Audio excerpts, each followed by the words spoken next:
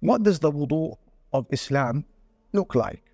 You have the obligatory wudu, your no frills version of wudu, your basic wudu. The fundamental components are mentioned in Surah Al-Ma'idah chapter 5. What are they? Very simple. إذا قمتم إلى الصلاة when you get up to pray فاغسلوا وجوهكم wash your faces وأيديكم إلى المرافق and your arms until your elbows وامسحوا برؤوسكم and wipe your heads وأرجلكم إلى الكعبين and wash your feet until the ankles. That's your standard wudu. And then you take out your siwak, a sunnah that beginning with myself, and a lot of us are falling short towards the stick which the Prophet ﷺ would use to brush his mouth, brush his teeth, not just before salah, but before wudu. And so the mouth should be pure. So you intend the wudu, number one. Number two, you brush your teeth with the siwak if you can. Number two.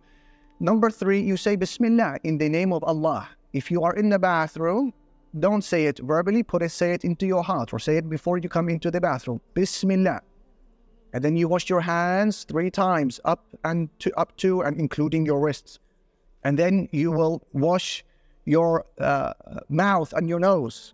With one handful, you bring the water into your mouth and up into your nose, and you sniff it until it reaches the upper part of your nose if you can.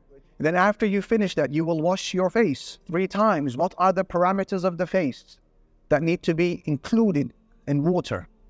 right? So that's it starts from here, then it drops all the way to the bottom of your chin, bottom of your jaw, including the recesses of your eyes. Then you need to wash your arms, your right arm first. And here is the thing you need to begin from the fingertip of your arm and bring it down to your elbow and including your elbow. This is a common mistake a lot of people make in wudu. And then number three, and this spot here, their palm is, is dry. This is a huge error. And then with fresh water, you will put your fingers together and you will start في مقدم الرأس عند مقدم الرأس the beginning of this part of your head and you will wipe your hair back until you get to the nape of your neck and then you will bring it forward again and then you will put your index fingers into your ears and you will wash them and using your thumb you will rub the outside part of your ears to clean that as well and then you will wash your feet three times each beginning with the right up to and including your ankles. وَيْلٌ لِلْأَعْقَابِ مِنَ النَّارِ Prophet sallallahu alaihi wasallam said, Woe to the ankles from the hellfire. Woe to the ankles from the hellfire. And he said this when he saw some of the companions washing their feet, but they had not submerged their foot with water, i.e., there were parts of their feet that were left dry. He said, Woe to the ankles from the hellfire.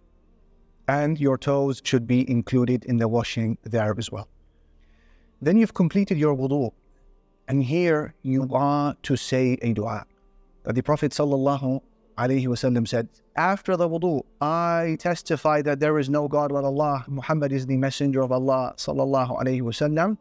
The eight gates of paradise will open up for him on the day of judgment, and he will be given permission to enter through any one of them he wishes. Remember this dua I shared with you. The shahada, ashhadu an la ilaha illallah wa ashhadu anna Muhammadan Rasulullah. Don't rush to come out of your uh, wudu and to carry out a no frills version, a takeaway type of wudu. No, take your time. Don't waste water.